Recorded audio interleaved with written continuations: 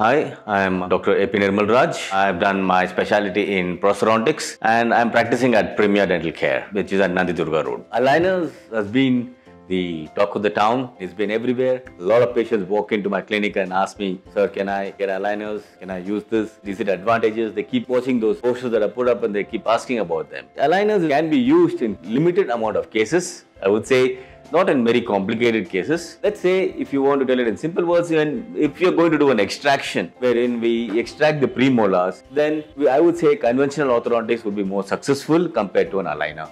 Because when you extract, you get a lot of space to be that needs to be covered. So it's better to go for a conventional orthodontics. But in cases of small corrections like midline diastema, deep bite, crowding, and all of those things, aligners can still be used as a successful form of treatment. Only thing as I told you, you need to plan correctly before you start the treatment. So make sure you take your OPG, you take your lateral cephs, you assess the patient periodontally and then you find that periodontally weakened teeth and all of those things. And if he requires, you must do a scaling. Scaling is a must, polishing must be done and then we can go forward with your aligners. Otherwise, I would say that conventional orthodontics, in case of let us say if the canine is impacted inside the bone, you need to bring the canine back into its position. In those kind of cases where there is a lot of malocclusions, I would say still the conventional orthodontics where we use brackets is still a better option where we also have a lot of advancements even in that field where uh, you can have tooth colored brackets and all of those things and still be happy. So conventional orthodontics can never be challenged with an aligner. Aligners can be used for simple cases but for